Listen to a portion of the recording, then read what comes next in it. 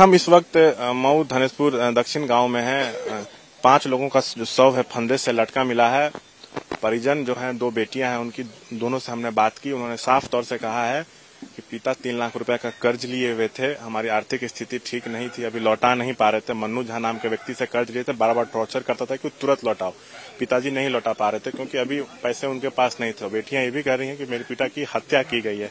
स्थानीय लोग हमारे साथ हैं। एक बात ये भी सामने आ रही है कि वो बहुत ज़्यादा कर्ज में थे।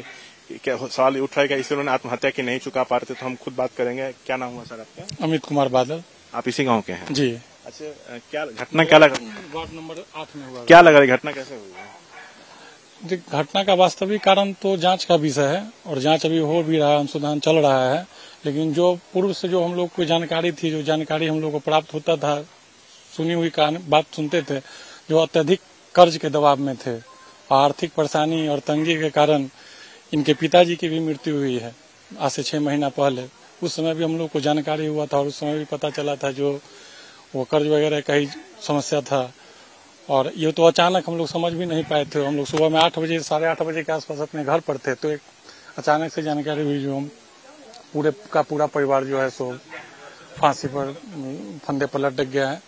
लेकिन जो भी है, वही बात जो आपको कहा गया है, जो आर्थिक समस्या और कर्ज का दबाव भी मुख्य कारण है इसका। लेकिन जो दोनों बेटियाँ हैं वो कह रही हैं कि मन्नू झा नाम के एक व्यक्ति से पिताजी कर्ज लिए हुए थे वो टॉर्चर करता था कि पैसा तुरंत लुटाओ लेकिन पिताजी के पास पैसे नहीं थे तो उन्हीं लोगों ने हत्या करी लोग आरोप लगा तो तो उनका मामला है वास्तविकता क्या है ये तो जाँच करने पर ही पता चला क्या लगता है हत्या या नहीं ऐसा हम लोग अनुमान तक कहना उचित नहीं है जो क्या वास्तविकता क्या होगा वो तो दोनों परिवार के बीच में बता पाएँगे वो लोग। देखिए देखिए हमारे साथ और भी स्थानीय लोग हैं। भाई साहब क्या लग रहा है? हत्या क्या आत्महत्या?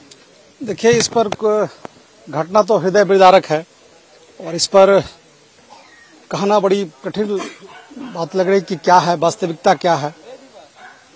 सभी लोग समझ ही रहे हैं देख ही रहे हैं। हम लोग को तो पता लगा तो नौ बजे हम लोग उपस्थित हुए देखे तो सारी घटना जो वास्तविकता थी वो हुई। बेटियाँ कह रही हैं कि पिताजी बहुत कर्ज में थे उनकी हत्या कर दी गई। ये सो मन्नू झा रोज तंग करता था कि मेरे पैसे लौटाओ। देखिए कौन लिया किससे लिया ये तो हम लोग ग्रामीण हैं हम लोग को उतनी वास्तविकता चूँकि हम लोग उतना किसी संपर्क में है- रह भी नहीं पाते हैं।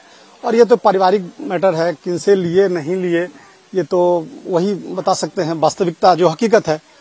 देखिए और भी गाँव के लोग हैं मनोज जी, जिन्होंने, जिनका शव फंदे से लटका मिला, साथ में पत्नी का शव था, दोनों बच्चे का और माता का तो क्या स्थिति थी उनके घर की? आप लोग तो स्थानीय आप लोग को पता होगा। देखिए, काफ़ी हृदय विदारक और मार्मिक घटना हुई थी।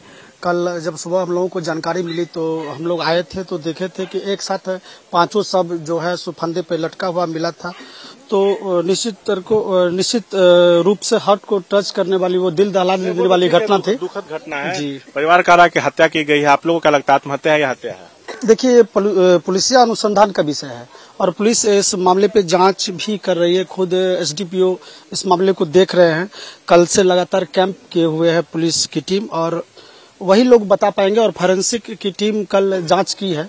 तो वही उसकी जाँच जब तक रिपोर्ट नहीं आ जाती है, तब तक तो क्या कहा जा सकता है? देखिए ग्रामीण जो हैं, कह रहे हैं कि आर्थिक स्थिति ठीक नहीं थी, कर्ज में थे मनोज, ये बात सही है, लेकिन उन्होंने आत्महत्या की है या उनकी हत्या हुई है, ये कह पाना मुश्किल है, ये ग्रामीण कह रहे हैं। ये सभी कह रहे हैं कि दुखद घटना वैसे परिजन बार बार आरोप लगा रहे हैं कि उनकी हत्या की गई है। कैमरा पर्सन विशाल राय के साथ शशांक कुमार, एबीपी न्यूज़ समस्तीपुर। フフフフ。